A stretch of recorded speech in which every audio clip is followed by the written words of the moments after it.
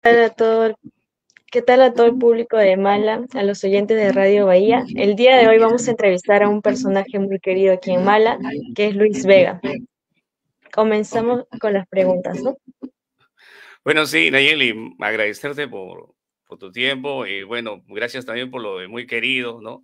No sé, querido por poco, digamos, por mucho de repente, pero este, bueno, vamos a hablar un poquito, ¿no? De, de, mi trayectoria y gracias a, a, todos los seguidores que están a esta hora conectándose. Voy a tratar de, de compartir también este, mm, a mi Facebook personal. ¿ya? Y, y bueno, sí, arrancamos entonces con, con, con las preguntas, Nayeli, mientras que voy compartiendo. A ver, arrancamos con la primera pregunta, chicos. A ver, dice, ¿cómo es que después de hacer programas humorísticos te convertiste en un personaje serio dedicado a la política?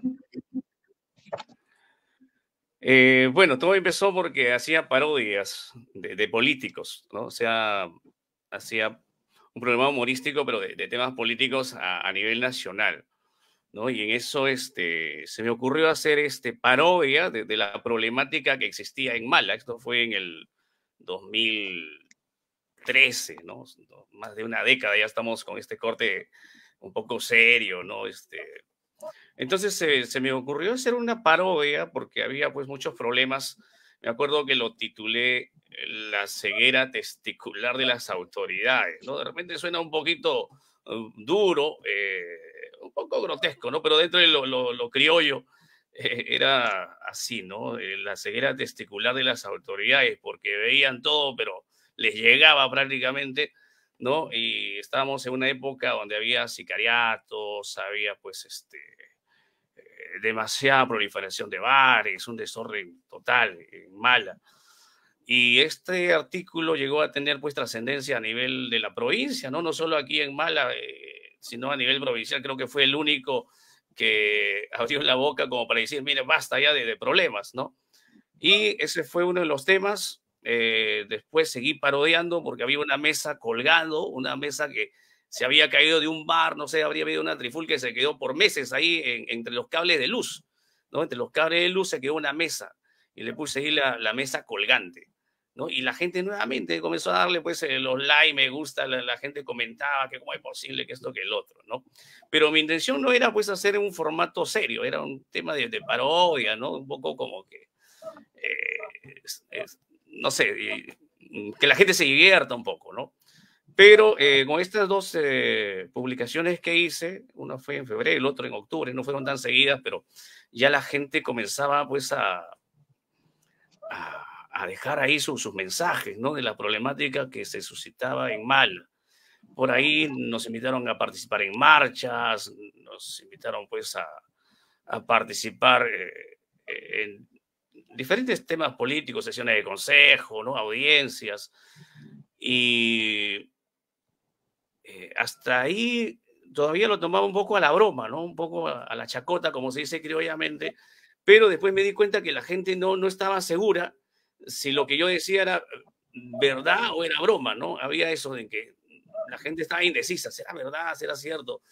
Entonces por ahí ya eh, que, que, me puse un poquito más serio, pues, ¿no? Ya comenzamos a hacer un corte más serial y Después se me presentó la oportunidad de enseñar ajedrez ya como profesor y ya se completó pues el paquete de, de serio, ¿no? Ya no podía estar haciendo broma con los alumnos, ¿no? Entonces este, ya se completó el paquete de la seriedad.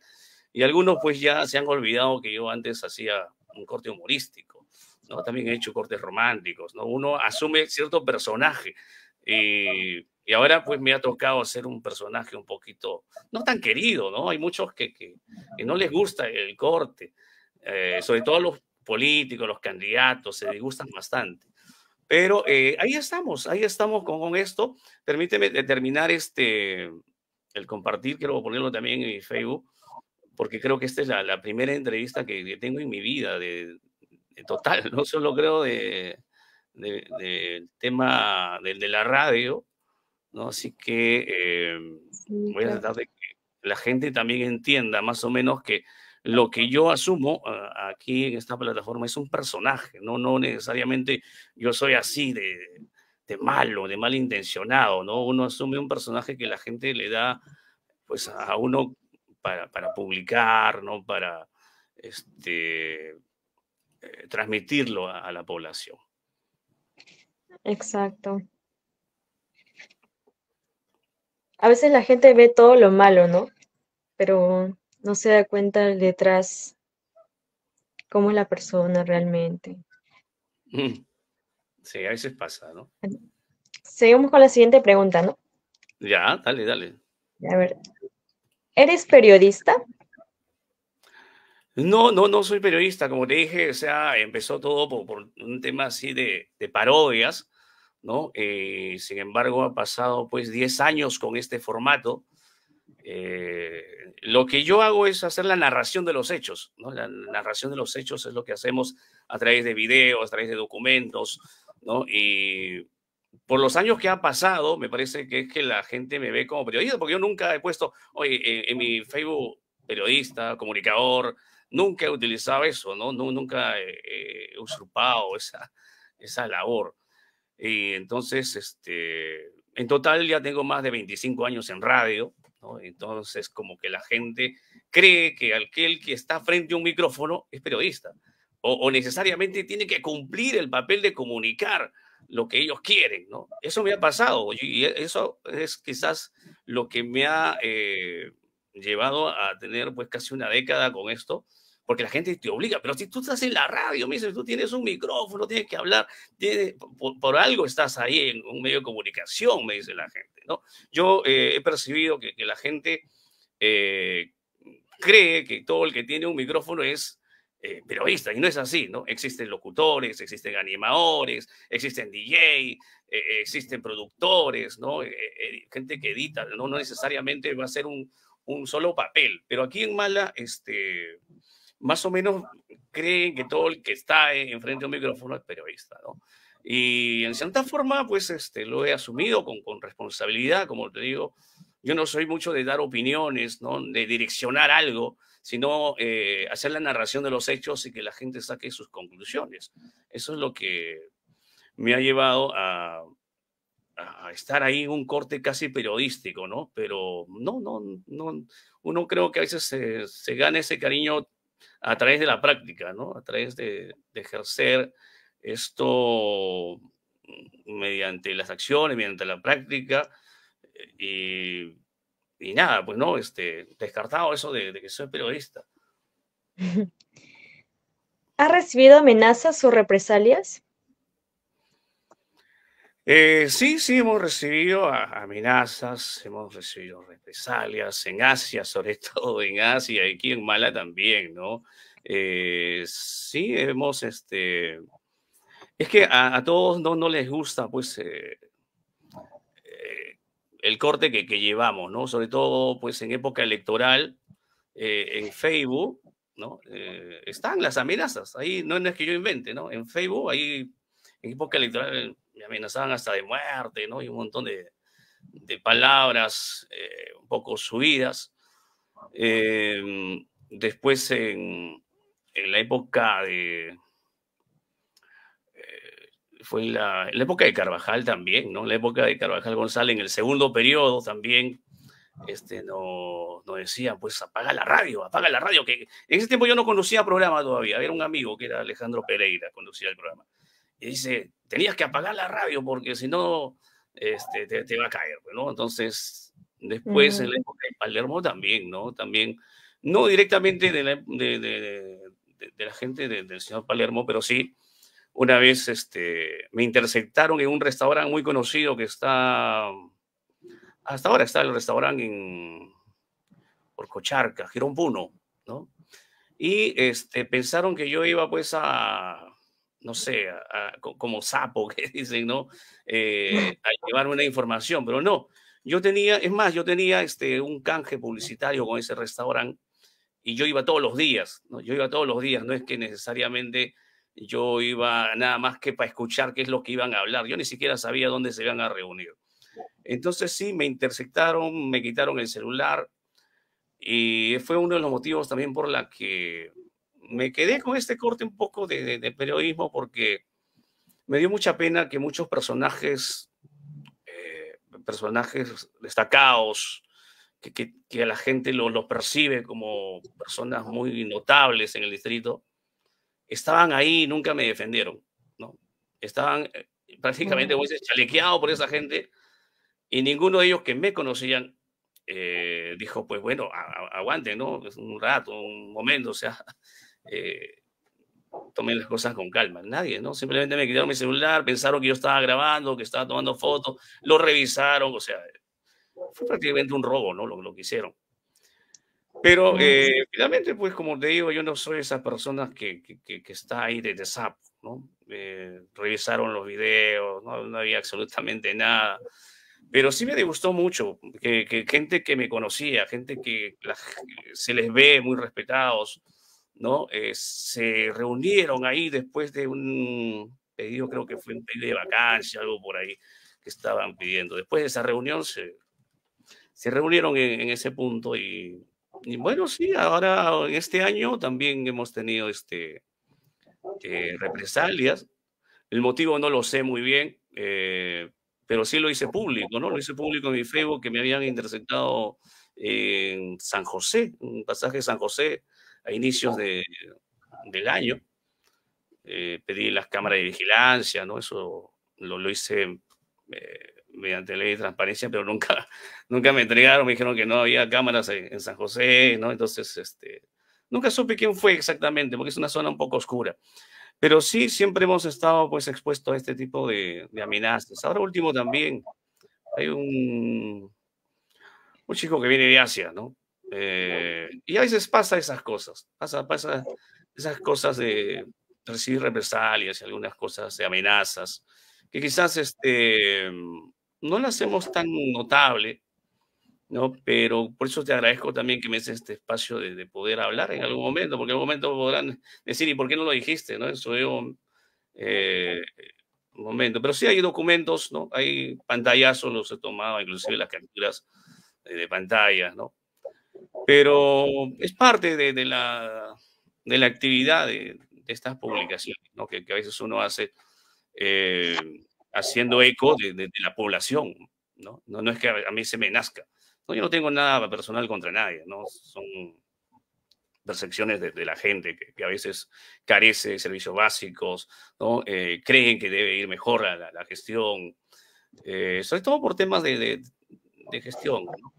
Más que nada por, por, ello, por colores políticos, creo que la gente se enciende y, y comienzan pues a, a descontrolarse sí. ¿no? y decir cosas que eh, ya se van más allá de lo, de lo que debería ser.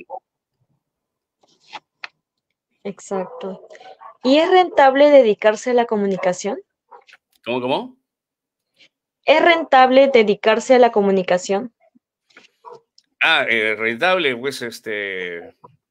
Eh, más que rentable, creo que es la vocación que uno tiene, ¿no? Eh, porque el formato que, que, uno lleva a veces te lleva a, a, tener muchos anticuerpos. O sea, más que rentable tienes más, más anticuerpos.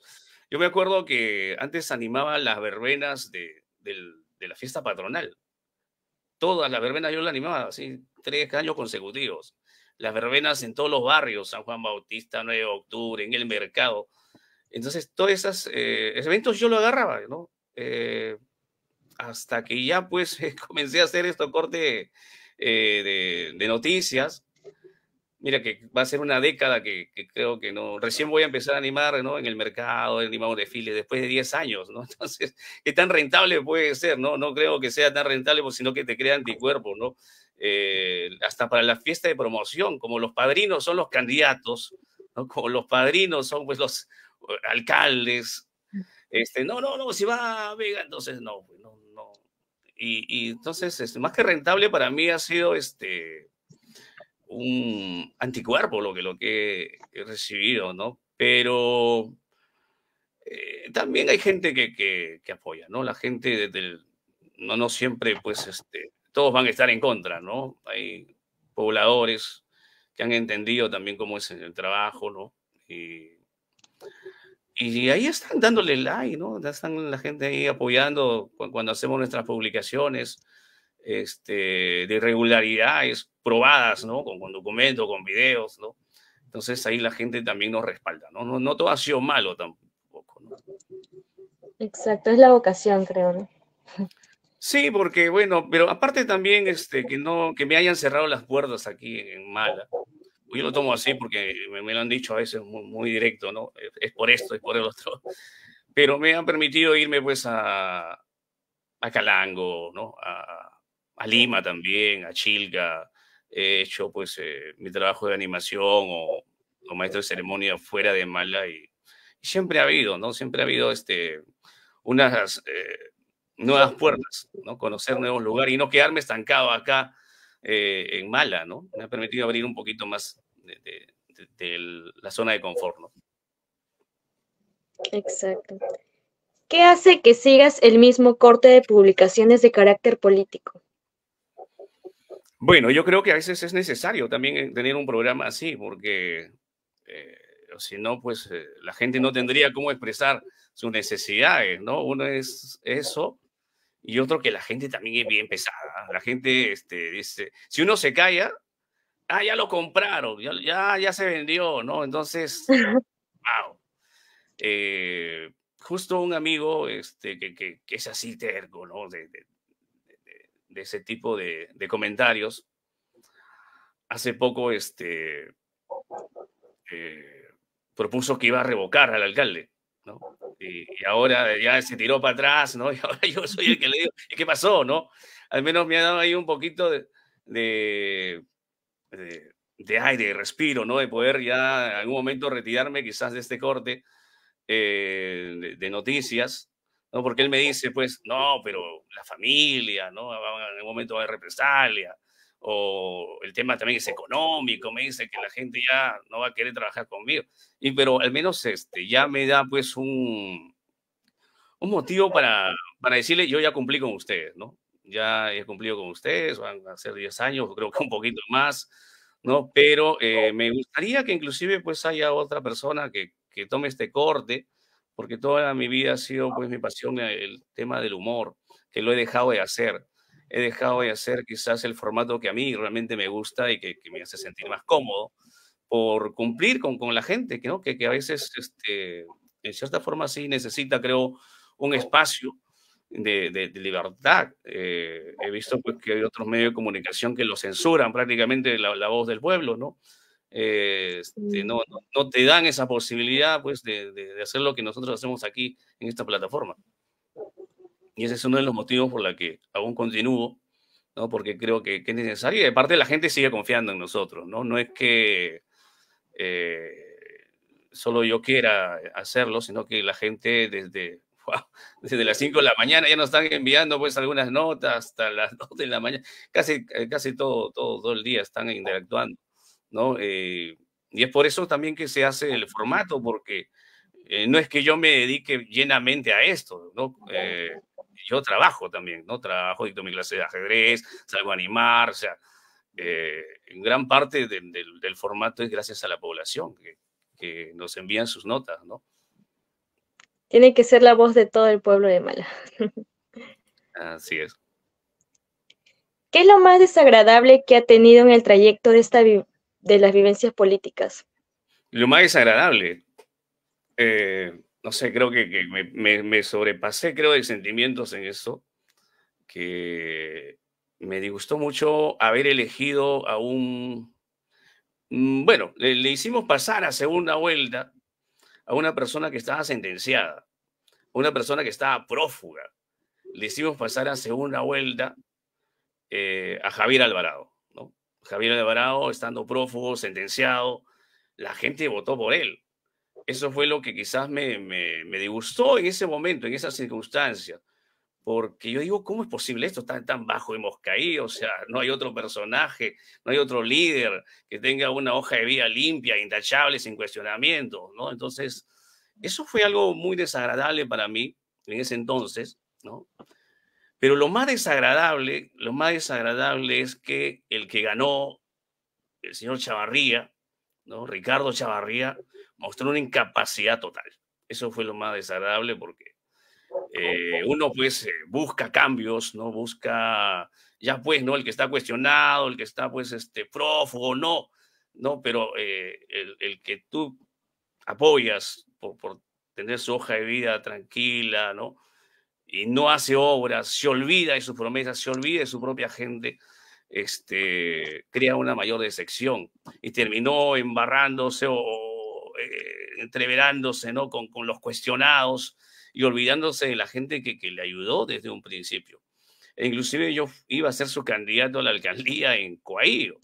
Me buscó por todos lados, ¿no? Eh, gracias a Dios no se dio porque la gente que yo había escogido no, ya estaban comprometidas con, con otros partidos. Pero yo pensé que después que me buscara para que sea su candidato, que insistiera que yo sea su candidato, por lo menos iba a haber un diálogo, ¿no? una visita, ¿no? para a futuro de repente cristalizar este, las propuestas que yo tenía. Pero fue un olvido total, fue un olvido total. Hasta ahora no, no sé qué será el señor Chavarría. ¿no? Inclusive cuando venía por acá se, se corría. ¿no? Y era muy asiduo visitante de, de, esta cabina. ¿no? Siempre venía por acá, acá hizo su campaña. ¿no? Pero después se olvidó total. Y no solo de, de mi persona, porque la gente que la apoyó en primera vuelta quedó a un lado. Hicieron, eh, me acuerdo que la señora Marlene Espinosa ¿no? la apoyó mucho ella estaba ahí con un local de campaña, le buscó un local de campaña, y cuando Chavarría ya estaba por la Panamericana, ¿no? Estaba con otra gente ya armando otro, otro equipo, ¿no? Y entonces eso es lo que más me ha degustado, la falta de, de lealtad con la gente que te apoya en algún momento, ¿no? Y la incapacidad que, que mostró Chavarría me, me decepcionó mucho porque yo estuve muy en contra de Javier Alvarado que pase a segunda vuelta por, por sus cuestionamientos, por, por, estar prófugo y esas cosas, ¿no? Eso es lo que quizás más eh, me ha llevado un sinsabor en, en la política. Yo digo, ¿hasta dónde hemos llegado? No tenemos líderes limpios, intachables, que deberían estar pues dando el ejemplo, ¿no? Exacto. ¿Y qué es lo que más odias? Bueno, creo que casi lo, lo que he dicho, ¿no? Creo que la, la, eh, mentira, la, la, hipocresía, ¿no?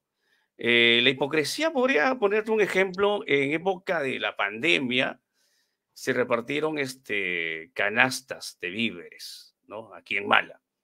Y en una de esas hago un reportaje y sale un personaje diciendo que había gusanos en las latas de atún. Había Mm. gusanitos. Entonces yo eh, lo grabé, lo tenía grabado, así esa versión, así como suena. Había eh, gusanos en la lata de atún, eso es lo que dijo. Y yo no podía creer, porque yo, ¿y por dónde se metió el gusano? ¿No? Es verdad, lo, lo volví a preguntar y dijo, sí, sí, yo, yo he tenido las latas, lo he visto aquí. Pero ya era de noche, era como las 11 de la noche más o menos que hemos ido. Y bueno, en el momento no, no había las la, la latas porque yo quizás hubiera firmado, eh, yo, mi intención era eso. Pero bueno, ya este, lo tenía grabado, ¿no? Entonces todo ahí pero yo dije, es fuerte, lo, lo que está diciendo es bien fuerte, es una declaración dura, ¿no? Entonces, cuando yo lanzo el video, reservo esa parte y no lo publico.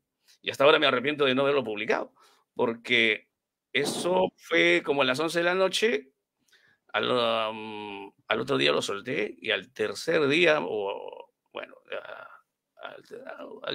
creo que por ahí nomás el otro día nomás fue, este, salió en la página de Munimal a la misma persona agradeciendo, señor, muchas gracias por su canasta, ya le habían dado su canasta y aparte le dieron su trabajito hasta los últimos meses de gestión, ¿no? Y, y eso dije, yo tenía todas las ganas, ¿no? Y diciendo que lo que había publicado era incierto, una mentira. Yo tenía todas las ganas de ir, ¿no? Y, y, y mostrarle eh, lo que había dicho. Pero bueno, no sé qué pasó, eh, que, que, se cortó esa parte. Eh, lo corté como digo y después no lo encontré. No sé si lo borré, lo, lo he tratado de, de, recuperar, no, no pude. Pero eso sí me disgustó mucho. Me disgusta mucho esa gente que dice algo y después despotrica con contra uno, ¿no? Eso para mí es hipocresía, ¿no? Entonces eso es lo que, que realmente odio, ¿no? Mm, y te pongo un ejemplo así porque quizás está escuchando a esa persona y de acordarse, ¿no? De acordarse y que quede pues un poquito ahí en su conciencia. ¿Qué te incomodó de la gestión Hugo Carvajal? Ah, la, la gestión Hugo Carvajal. Eh, a mí me incomodó la, la, segunda, la segunda gestión. La primera, Eh, mira, desde ahí, desde esa época, he estado haciendo ya un poco de, periodismo, un poquito atrás. Em, mis amigos, mis viejos amigos, ¿no? De, gente ya, lo digo mis viejos amigos porque ya tenían pues sus 60, 65 años, ¿no? Los, que me rodeaban en ese tiempo apoyaron mucho a Carvajal. Y el primer año creo que fue bien, ¿no? La primera gestión creo que fue bien. La segunda gestión sí me incomodó las obras que hasta ahora no se concluyen. El estado de Bujama, ¿no? El estado de Bujama es una notable obra que no se ha concluido y que fue en esa gestión. En Bujama Alta, también en Bujama Alta hay un estanque que recién creo que lo han puesto en uso, en la gestión de Sonia Ramos recién creo que se hizo este, poner en funcionamiento. Obras inconclusas, obras inconclusas es lo que me incomoda de la gestión de, de Carvajal González, de su segunda gestión, donde había, pues, como te digo, proliferación de bares y asesinatos, sicariatos, ¿no? Y no había, pues, un, una mano dura como para cerrar esos bares y por lo menos, pues, este, velar por la seguridad del, distrito. ¿no? Esa es la, la, parte. Y aparte que también me mandaban a apagar la radio, bueno, pues, me mandaban, me venían a, a, decir, apaga la radio para que no salga tu, tu amiguito, ¿no? Entonces, eh, eso sí me, me, me disgustó. ¿no? Sé que me imagino que, eh, bueno, eh, fue, mm, no sé si responsabilidad, de, estoy hablando de gestión, no de personas, ¿no? Este, no sé si hubiera sido, pues, este, una responsabilidad directa del señor. Muchos dicen fue que su gerente, ¿no? Y algunos otros funcionarios que, que han hecho, pues, todas esas cosas que, que suscitaron. Pero eh, en sí yo hablo de gestión, ¿no? Como digo, yo hablo de gestión más, más que de personas, ¿no? ¿Cobrabas en la gestión de Palermo y sobre qué servicios? En la gestión de, de Palermo, Figueroa, eh, yo era profesor de ajedrez, ¿no? Entonces, eh, te agradezco la, la pregunta porque eh, un medio de comunicación que hasta ahora me tiene bloqueado, que es prensa maleña.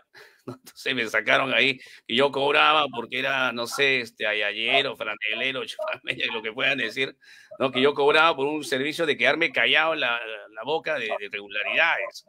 ¿no? Este, yo pedí a, a, Abel, a Abel Santiago, quien dije prensa maleña, para que me ayude a hacer un descargo y, mira, cuánto tiempo ha pasado para recién decirle a la gente lo que yo cobraba era por un tema de, de servicios de, de, profesor de ajedrez, hice la meta 29 y 30, ¿no? Entonces, bajo ese concepto es que yo percibía pues un dinero.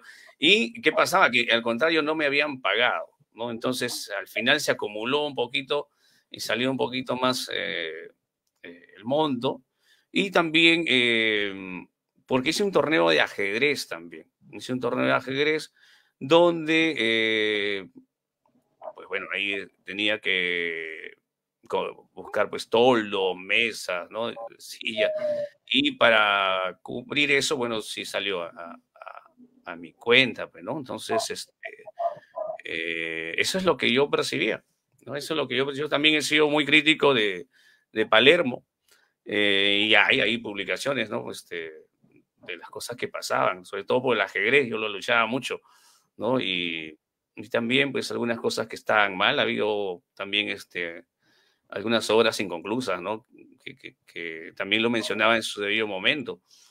Eh, luego, cierta forma sí, este, ya no lo hacía tan público, no, no porque no porque ya estaba trabajando, hay que dejar en claro también que no, no me quedé callado por el tema de que ya tenía un trabajo ya como profesor de ajedrez sino que había un gerente que me llamó eh, muy inteligentemente, ¿no? Y me dijo, bueno, pero ¿qué tal si tú recibes la información de la gente y nos lo trasladas y nosotros lo solucionamos acá internamente? Vamos y lo solucionamos, ¿no? Si de repente, no sé, necesitan agua por tal sitio, o de repente hay zonas un poco peligrosas, llevamos un serenazgo, o sea, y eso es lo que sucedió.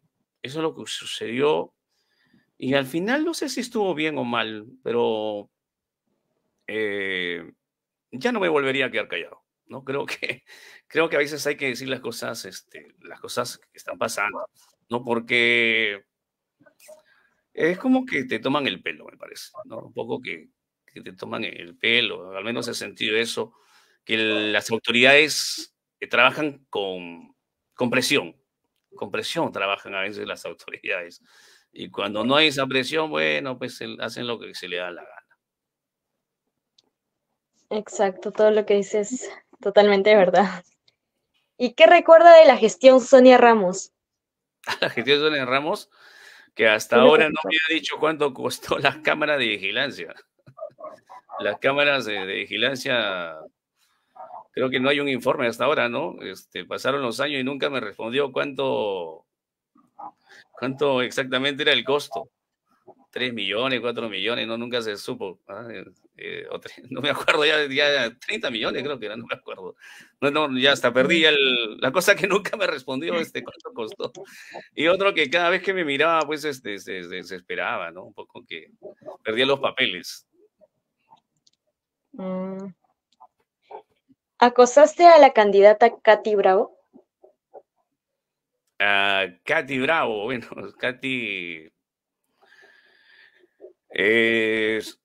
este, no, no recuerdo muy bien cómo es que conocí a Katy Bravo. La, verdad que no, no recuerdo muy bien, pero eh, en época de pandemia le hice una entrevista. En el Día de la Amistad le hice una entrevista. ¿no? Este, luego de el día de la amistad. No es que te quiera evadir la, respuesta, no, no es que te quiera evadir si, si la acosé o, o no la acosé. Eh, déjame hacer un poco la introducción porque en realidad es una palabra muy fuerte para mí. ¿no? Para mí, hasta ahora, este, nunca he hecho un descargo tampoco, ¿no? Es la primera vez que de repente voy a hacer mi descargo. Pero yo me acuerdo haberla entrevistado en el Día de la Amistad, como buenos amigos, hemos salido casi a tener una hora de programa. La esperé inclusive para la entrevista como media hora y terminamos en buenos términos en esa entrevista. Luego me invitó para un izamiento de bandera en Dignidad, en el Mirador, no sé si está en, Santa Rosa, parece que está el Mirador. ¿ya? Entonces yo he estado ahí invitado por, por Katy hemos tenido hasta ese entonces, pues, eh, un buen diálogo. No muy seguido, pero buenos términos, ¿no? Y a mí me sorprendió mucho cuando me dijo que, que la había acosado. Es por eso que mi reacción fue inmediata. Y en el mismo instante, en el mismo momento, le pregunté de qué manera le había acosado. Creo que lo pregunté como 10 veces y nunca me respondió. Y yo nunca he tenido nada en contra eh, y siempre me, me, pregunté de qué manera cree que le ha acosado. Hasta ahora yo me sigo preguntando eso porque es fuerte, para mí es fuerte, muy fuerte, porque yo soy muy respetuoso de, puedo ser muy palomía quizá en algún momento, que no tanto, pero soy respetuoso de, de las mujeres y mucho más pues de, de, de, una persona que está aspirando al sillón municipal. Eh, pasó eso que, me dijo que, que le había acosado, le pregunté todo eso, y yo lo dejé ahí, o sea, este, hasta que pasó como a estas horas, creo, me comienzan a llamar, mis amigos me comienzan a llamar, dicen que ha publicado un video donde tiene las pruebas del acoso, ¿no? Entonces ahí me comencé a preocupar, pero ¿qué, qué pruebas? ¿Cuál es la prueba, no? Y había publicado un video mío tomado desde atrás. O sea, desde atrás alguien me filmó y ese video lo publicó, pero nada más que eso. O sea, no, yo no entiendo cuál fue eh, la intención, porque yo también en algún momento eh, pensé que era porque por las redes sociales le pedí una entrevista y creo que fue una, dos veces creo que, que lo publiqué pidiendo una entrevista, ¿no? Más nada, o sea, pero publicó un video no sé con qué intención. Eso fue como a las 11 de la noche, entonces yo ahí recién, ¿no? La gente puede constatar, inclusive, quién publicó primero y quién después. Yo teniendo ya ese video, digo, pero ¿qué pasó? O sea, ¿no? Entonces ahí recién es donde publico mi video haciéndole las preguntas, ¿no? De qué manera te, he acosado. De ahí después, porque yo nunca he tenido la intención de eh, dañar su imagen ni nada por el estilo. Yo más bien me pregunto qué hubiera pasado si yo no hubiera grabado ese momento, ¿no? mm, ¿cómo hubiera quedado yo? Para mí fue muy, muy fuerte eso del de, acoso. Después, eh, con respecto pues al, al, pedido de entrevista, eh, recuerdo haberle pedido eh, una entrevista por WhatsApp, le envió un mensaje por, por WhatsApp y me mandó a vender chicharrones, ¿no? Me acuerdo que me dijo, anda a vender chicharrones con tu padrino.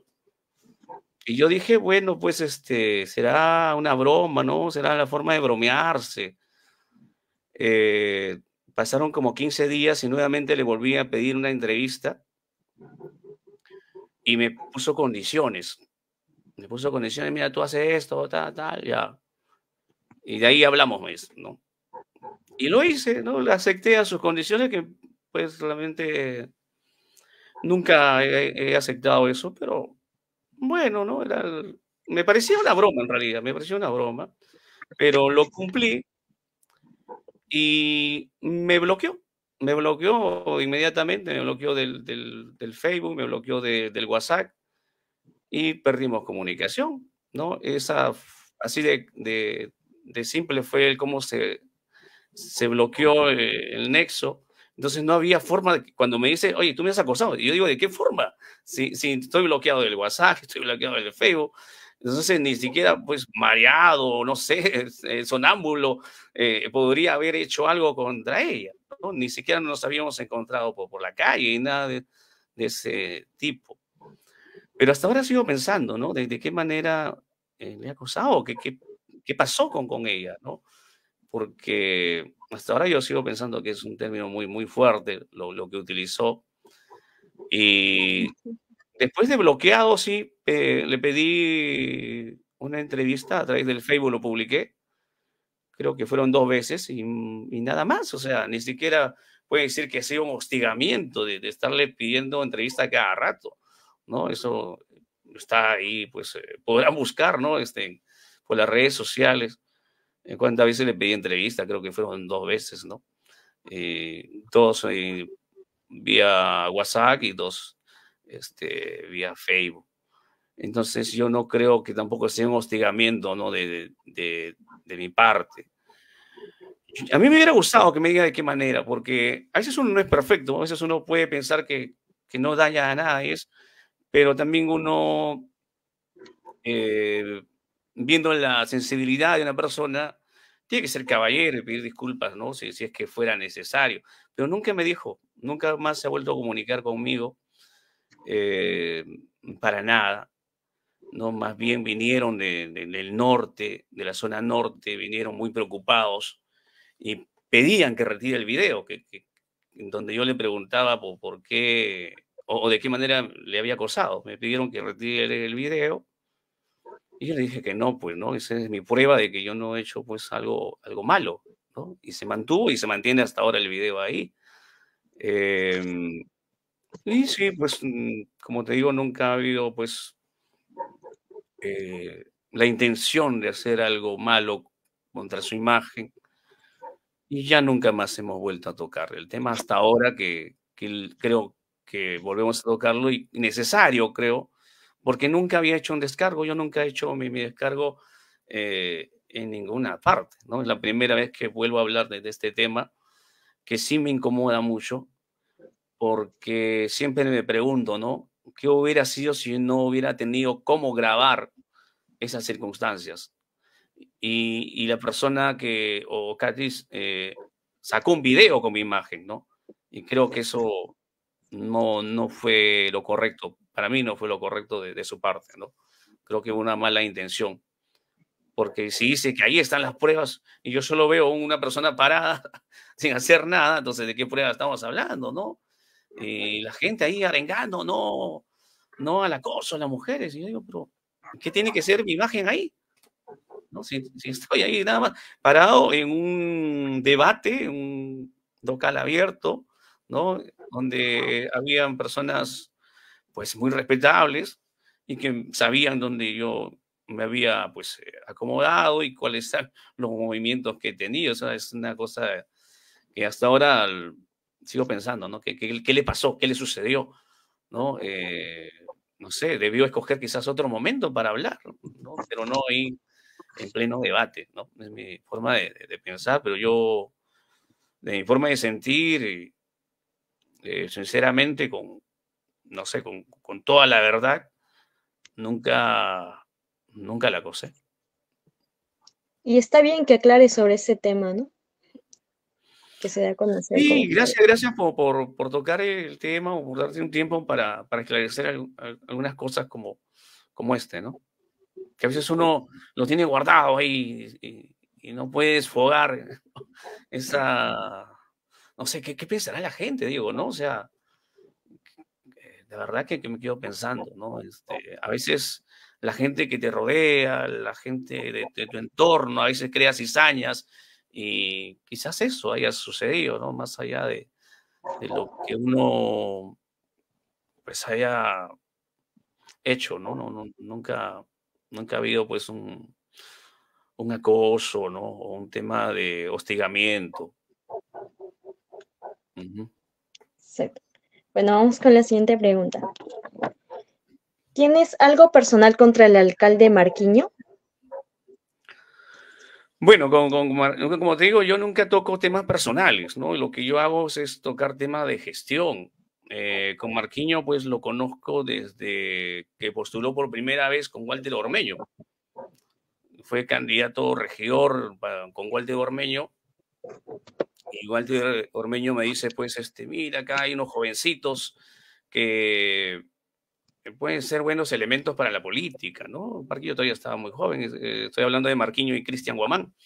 Eh, ellos postularon con, con, Ormeño y Ormeño me los deja pues en la cabina, me dice, dale un espacio, entrevístalos, ¿no? Dale, dale luz, como se dice ahora, ¿no? Y entonces, eh, desde la primera campaña hasta la segunda campaña también, ¿no? Volvió a postular Ormeño, también estaban ellos. Entonces, como persona siempre le he brindado un espacio aquí, ¿no? Cuando inclusive existe fotografía, ¿no? Con, su libro Líneas Simples, ¿no? Entonces, eh, acá siempre han estado, aquí en la cabina. Como persona siempre ha habido pues mi, aprecio, mi consideración, pero mm, no sé, ellos solo se han apartado. Cristian, Cristian todavía sigue visitándome por acá, pero este, Marquinhos solo se ha apartado, ¿no? Este, Tal vez porque no está acostumbrado a que le hagan una crítica o solo está acostumbrado a los aplausos o de repente solo está acostumbrado a los halagos y cuando uno le dice algo que le incomoda a distancia de repente, ¿no? Creo que una vez vino por acá, o la última vez que vino por acá, pues vino con unas ideas un poco ya subidas. Entonces, eh, eh, mm, le dije las cosas como son, ¿no? O sea, eh, estás mal, estás mal, simplemente le dije, estás mal y, y, y, desde ahí dejó, dejó de venir, dejó de venir. No sé qué, qué le pasó. Bueno, si de repente eh, no le gustó, pues que, que le diga algo que, que, bueno, no, no, no, no sé, no le cuadra, de repente todo el tiempo quiere que le aplaudan, ¿no? Como siempre se, se le daba luz, ¿no? Y, y, y, a veces es normal, ¿no? A veces es normal, son etapas de la vida, creo. Hay momentos donde no nos gusta que nos diga nada, ¿no? Y sobre todo cuando estamos jóvenes, ¿no? Queremos eh, escuchar puros halagos, ¿no? Queremos de repente eh, estar en un pedestal y que nadie nos diga nada. Y tal vez, ¿no? Sea eso, mmm, porque se ha alejado, la verdad no sé por qué se ha alejado. Como te digo, ha habido dos campañas seguidas que, que venían acá y después solo, solo se fue, ¿no? Su campaña ya no lo hizo aquí, su campaña ya lo hizo en otra radio, ¿no? Exacto. Pero en lo personal, como digo, no, no, siempre, eh, siempre estamos ahí para, para apoyar a los jóvenes, ¿no? Exacto. ¿Por qué no apoyaste a Marquiño como candidato a la alcaldía si por años iba a la radio? Eh, uno, por la forma, bueno, eh, lo que pasa es que, ¿qué te digo? Mm, no hay precedentes que un joven haya hecho una buena gestión, ¿no? no bueno, es mi forma de ver, ¿no? Inclusive Alan García, que ha sido pues una persona preparada desde muy joven por allá de la torre, nos mandó pues al precipicio, ¿no? Eh, entonces, ¿qué joven, qué joven ha hecho un, una gestión exitosa, no, no, no, no, no tenía en mi agenda que joven lo había hecho. Y otra que a los jóvenes no les gusta que le digan nada, ¿no? Eh, eso es mi forma de percibir. Hay una etapa donde nos, no nos gusta que, que nos digan cosas y, y, bueno, ese era uno de los factores. Y otro que eh, fui uno de los primeros, creo, en entrevistarlo y, y, sus propuestas no cuadraban, pues, ¿no? No tenía este, propuestas realizables y ahora el tiempo me da la razón, ¿no? Que ese fue uno de los motivos. O sea, hablaba, hablaba, hablaba, pero, por ejemplo, me decía, voy a hacer un, un terminal, ¿no? Pero yo le decía, ¿dónde? ¿no? ¿Y dónde lo vas a hacer? ¿No? Entonces no había respuestas. Y varias cositas, ¿no? Varias cositas que, que, eran ficticias, ¿no? Y que como una oficina descentralizada en, Lima y cosas así que, que hasta ahora pues no, no, no, hay, no hay nada de, realizado, ¿no? Eh, esos fueron los motivos. Y otro de los motivos porque le faltaba carácter para deslindar de, lo malo. Le faltaba carácter para lindar de las cosas eh, un poquito turbias, ¿no? Tenía ahí un regidor que tenía problemas legales, finalmente fue separado, nunca le puso un énfasis de separarlo, de decir, ah, lo separo por este motivo, nunca se supo por qué, cuál es el motivo por el que llevaba pues el tema legal, ¿no? Entonces ahí yo dije, bueno, le falta carácter, ¿no? Entonces, cuando entre, eh, no, va a tener el carácter de, denunciar si hay un acto irregular en la gestión saliente. ¿no? Eso ha pasado. Hasta ahora no hay una denuncia, ¿no? Eh, creo que más que nada por falta de, carácter. ¿Has tenido denuncias alguna vez? Sí, yo he tenido denuncias. ¿Alguna vez? Uy, una vez, más de dos veces, tres, cuatro veces, ¿no? Este, y bueno, sí, o sea, eh, para la gente que de repente está escarbando por ahí un poco, ¿no? De, cómo hacerme quedar mal. ya este, me he puesto ante la ley, he pagado mi multa, he pagado pues este, de multa, ¿no? Y es justamente porque tenía pues una radio que no se llegó a regularizar, ¿no? Una radio que... Lo que pasa que estaban en la época del, de los congresistas ruacables, estaban en la época de los congresistas, no sé qué más había, y yo dije, ah, yo también puedo hacer eso, ¿no? Ah, ya, sí. Yo también puedo, pongo mi radio y no pasa nada, pues no, este, entonces no lo formalicé. Pero al final me di cuenta que no tenía el, mismo rango de un congresista, pues, ¿no? Al congresista le perdona un montón de cosas, pero a uno sí, ¡guau! viene la, la, multa, ¿no? Este, aparte, pues, de, de tus, cartitas notariales, ¿no? etcétera, etcétera. Entonces, este, sí, este, ha sido una experiencia, ¿no? Pero ya está debidamente regularizado, ¿no? Tenía que pagar unas multas, que no lo tomé importancia porque no era mucho. Yo dije, aquí no pasa nada hasta que ya me, me bloquearon la cuenta y querían embargarme. Entonces ya obligado tuve que, que pagar, ¿no? Entonces, sí, sí, sí. Creo que es normal, como dicen algunos amigos, el que no tiene denuncias porque aún le falta conocer muchas cosas, ¿no? Y ahí vamos aprendiendo, ¿no? Otro día ya, bueno, ahorita lo que tenemos es una radio virtual, ¿no? No, no, es, no es ya que tengamos nuestro transmisor como, lo teníamos en algún momento y nos llegaron pues a confiscar todo, nos quitaron todo y, y nuestra multa respectiva, ¿no? Eso es lo que, lo que ha sucedido. Exacto. ¿Y cómo ves el futuro de Mala? Muy incierto, ¿no? Muy incierto porque, mira, yo ya voy a tener 25 años escuchando las mismas propuestas y ninguna se han cristalizado como abrir calles, el catastro, ¿no? Este, 25 años con el mismo problema y hasta ahora pues eh, no se ve pues una autoridad que, que diga, ah, voy a heredar algo nuevo, ¿no? Parece que vamos a seguir heredando los mismos problemas de siempre. ¿No? Y no solo por el tema del catastro o el colapso de desagüe, sino también por las cañerías, ¿no? Casi nadie habla de que las cañerías ya deben ser cambiadas o, o este, ponerlas un poquito más anchas, ¿no? Eh, en algún momento no sé qué va a pasar, pero va a reventar de repente esas cañerías que ya tienen 800 años, ¿no? Que, que no lo cambian. Eh, y bueno, mm, lo veo muy incierto. Dios quiera que, que, que no sea malo, pero me preocupa qué es lo que va a dejar esta gestión. Y me preocupa mucho que, ¿dónde están los candidatos? O sea, ¿dónde están los candidatos que se presentaron en campaña? Es lo que yo me pregunto. No los veo en sesión de consejo, no los veo pues en una audiencia pública. ¿Dónde están? Y quieren volver a postular. Y eso es lo que me preocupa. Quieren volver a postular. ¿Y por qué no le dan un jaloncito de oreja ahorita al alcalde? Porque es lo que van a heredar, ¿no? O sea, ¿qué van a ser magos? ¿Van a ser magos para solucionar los problemas de la nada? No, ya hay que ir encaminando desde ahora, ¿no? Y eso es lo que a mí me preocupa. Yo digo, ¿dónde están los líderes políticos?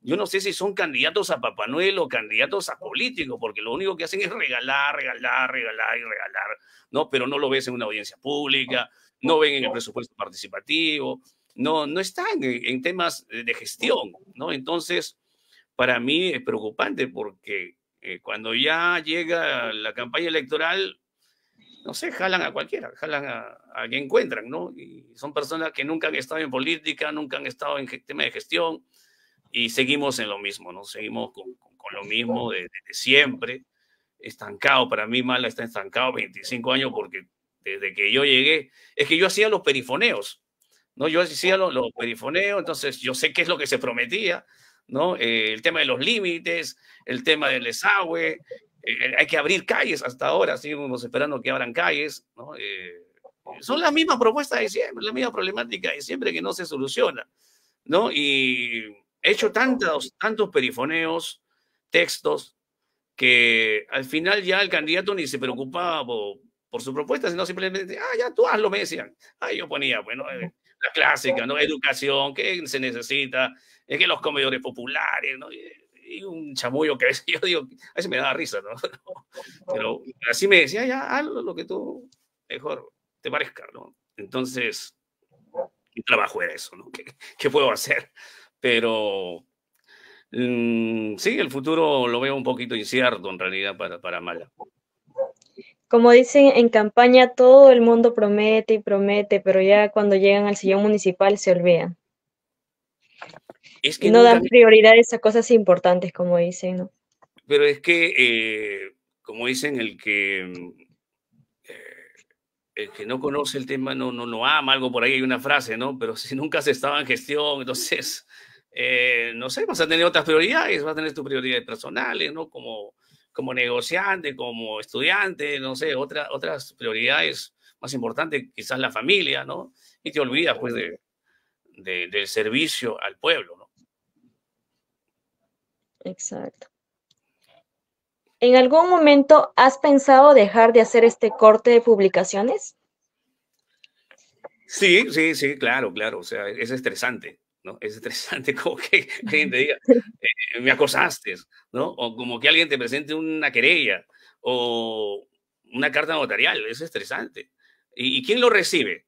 Mamá, mamá lo recibe, porque va a, la casa, ¿no? No es que van a venir acá eh, no sé, o buscarme personalmente, van a una madre, van a afectar a la familia, ¿no? De una u otra manera, eh, no, no, es fácil, o sea, sí, sí he pensado dejarlo.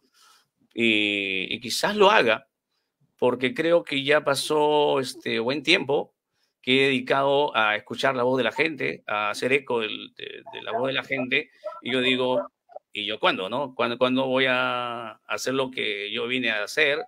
era hacer un poquito de humor, un poco de imitaciones. Eh, cuando voy a concretar lo que yo he querido, he hecho pues ahí un paréntesis a lo, a lo que siempre he llorado, he anhelado. He sido cuatro años consecutivos como uno de los mejores imitadores a nivel nacional y todo eso ha quedado en el olvido, ya nadie eh, se acuerda de eso, ¿no? Entonces, eh, sí, sí he pensado y y quizás se dé, aunque no es fácil, ya me he acostumbrado también a, este corte, porque a veces es necesario. Y como usted lo dice, ¿no? Recibir todo de la población, que le avisa, le comunica todo. Ser la voz del pueblo, como dicen. Sí, algo así vamos, algo así hemos estilado. Esperamos que haya sido propicio y que los seguidores también se sientan contentos. Espero haber eh, curioso expectativas y, siempre trataremos de, dar lo mejor porque hemos aprendido algo que ni siquiera nos imaginábamos, ¿no? Y, y es bonito también, es bonito porque en el trayecto también se da patinadas, ¿no? Y, vemos que, que, hay que saber dominar nuestras emociones y, y, tratar de ser un poquito más cauto en, lo que uno hace, ¿no? Exacto. ¿Cómo ves tu futuro en la política? Cuéntanos. En la política casi no, no, no lo sé si en algún momento de repente em, acepte a veces me llegan propuestas, pero la verdad que, no, es, aceptar por aceptar, ¿no? Hay que, hay que prepararse con tiempo, hay que ver, escoger buena gente que te rodee y, sobre todo eso, ¿no? La gente de tu entorno tiene que ser muy buena y, y uno estar preparado emocionalmente también para saber sobrellevar las cosas. Anteriormente he sido un poquito fosforito, ¿no? Me, me encendía muy rápido imagínate qué, podría pasar si me, dan una propuesta indecente, ¿no? Podríamos llegar a eh, algo grave, ¿no? Entonces, este, creo que hay uno, uno tiene que prepararse, pero no descarto la posibilidad de repente de, poder postular en, en Coahuila, que es uno de los distritos donde, donde sufrago, donde tengo mi familia, ¿no? Entonces, eh, Coahuila actualmente está pasando una circunstancia tan, tan, tan dramática, la verdad a mí me apena mucho.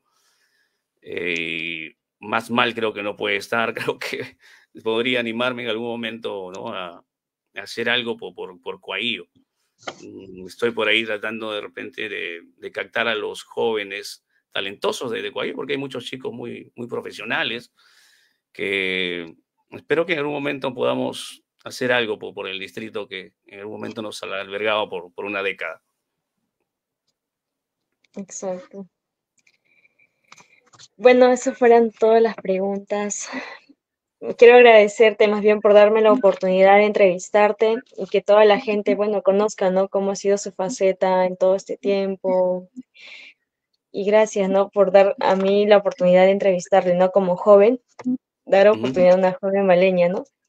Y que, por cierto, ya va a cumplir sus 25 años, ¿no? ¿Cómo se siente? Sí, boda de plata. Sí, boda de plata. Me siento este, con la intención de jugarme una revancha. Me siento con la intención de retomar el ámbito humorístico. ¿no? Eh, te agradezco a ti también por, por, tu tiempo, porque creo que era necesario eh, decirlo las cosas que, he dicho y, cerrar de repente capítulos de mi vida. De repente me, me aleje este corte porque siempre hay que darse una oportunidad para hacer lo que a uno le gusta, ¿no? Y espero en el momento estar más cerca de la familia, del cual me he distanciado bastante. Eh, y muy aparte de eso, también concretar lo, lo, que siempre he querido, ser un, artista, ¿no? No, no solo pues como locutor, como animador, sino también en algún momento cantante y un showman, ¿no? Siempre ha sido mi, aspiración, que, que, lo he dejado de hacer, porque eh, hacer este corte de programa quita tiempo, ¿no? Hay que editar, hay que poner un buen, un buen texto, ¿no? Eh, entonces, aparte, no es que yo cobre de una municipalidad, yo tengo que ganármela, ¿no? Y me la gano con mis flyers, me la gano pues con, con mi publicidad y mis oficiadores, que no es nada fácil, ¿no? Muchas veces eh, tener un oficiador me ha costado como 10 años convencerle, oye, apóyame. o sea, no es que yo voy a una tienda y me, oficia, ¿no? Ahorita pues tengo varios oficiadores, pero en cierta forma me, me, ha costado un tiempo, pues, este, convencerlos, ¿no? Porque hay algunos que tienen miedo también, ¿no? Me van a cerrar la tienda si, estás hablando del alcalde, va a venir a, multar, ¿no? O sea, no es fácil. Eh, y yo soy una de esas personas que cree que no se puede hacer dos cosas a la vez. A mí me gusta dedicarme de lleno a algo. Ahora, pues, este, no, no he podido por, mucho tiempo estar eh, dedicándome a una cosa porque si hablamos del tema económico, esto en realidad casi no, desde el corte de, publicaciones que hago, no me da muchas eh, rentabilidades. entonces tengo que dedicarme a profesor de ajedrez, que es otro de los eh, ámbitos que llevo. Y el ajedrez tampoco es una cosa pequeñísima, es bastante extenso, infinito, ¿no? Te quita bastante tiempo. Cada día salen novedades, ¿no? Y no solo es que va a mover una pieza, sino que tienes que preparar una clase para que el niño capte lo que vas a decir. Entonces, este, eh, es un poco complicado, ¿no? Pero eh, en algún momento quizás eh, volvamos a jugarnos la revancha, y digo la revancha, porque por ahí habían algunos que decían, oye, que, que ya, ya, fracasó en la radio, que, que esto, que el otro. Y en realidad más que eso ha sido, pues creo, un descanso, porque uno por las multas que se me vino, que ya, lo he explicado en una parte del programa, y otra de que terminé demasiado cansado después de todo eso, fue un estrés total y me tomé un descanso hasta ahora que, que digo, en el 2025 me juego mi revancha, ¿no? Y lo estoy preparando desde ahora, ¿no? Eh, cerrando ciertos capítulos y para empezar eh, con una nueva oportunidad, ¿no? De, de, poder concretar mis ideales. Exacto, ya con esta entrevista ya la gente lo va conociendo un poquito más y aclarando sus dudas, ¿no? Sí, que sepan que no soy el renegón, como dicen. sí. tengo mi lado, mi lado de una sonrisa, quizás no, no, no todo es este renegar, ¿no? Como, como algunos lo han pintado, ¿no? Este, no, no, no es así, no tengo más, no tengo nada en contra de lo personal, sino que a veces nos toca, pues, eh, ver el tema de, gestión y a veces sí es incómodo, ¿no? Eh, cuando se toca, pues, justo las ineficiencias de, ello, ¿no? Exacto. Más bien, gracias por esta oportunidad, ¿no? Y desearle mucha suerte, ¿no? Y que la gente ya sabe, ya le escuchó, ¿no? Y que ya lo conoce como así. Sí, pues y ya nos iremos en febrero a la Candelaria con el profesor, eh, con el profesor, este, wow, bien duro, bien tacaño debe ser, ahí me olvidado su nombre. Oscar Galindo. Oscar Galindo. Si viene su cumpleaños, ¿ah? saludos Oscar Galindo, si viene su cumpleaños. Bueno, ahí le gusto. Vamos para Puno, la Candelaria. Nos vemos. Buenas noches. Gracias.